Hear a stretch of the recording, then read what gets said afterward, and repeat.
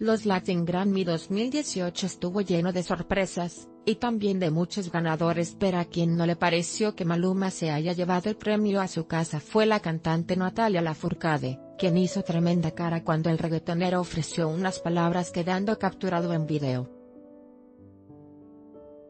Resulta que el colombiano fue nominado en la categoría Mejor Álbum Pop Contemporáneo el cual ganó, y lo hizo acreedor a su primer triunfo en dicha ceremonia pero a su colega no le pareció que haya ganado.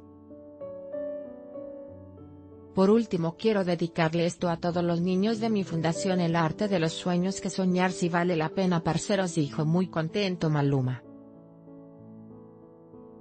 Mientras tanto la cara de la compositora se hizo rápidamente viral en redes generando un debate entre los fans del Pretty Boy y la famosa. Muchos mexicanos en contra de los colombianos. Qué mal. Punto claro que no. Estamos en contra del reggaetón, no de nuestros hermanos colombianos. Lo prefiero mil veces que a la Lafourcade. En esta nota, Maluma Natalia Lafourcade